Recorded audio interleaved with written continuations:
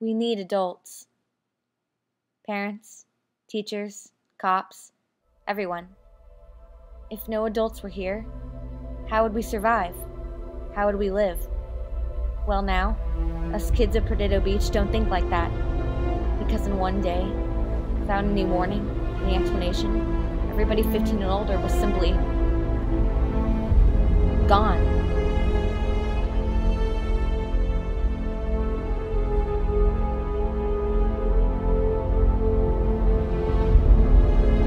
Some kids cracked, but others changed.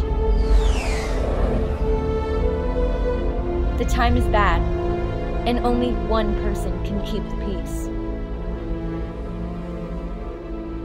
Sam Temple.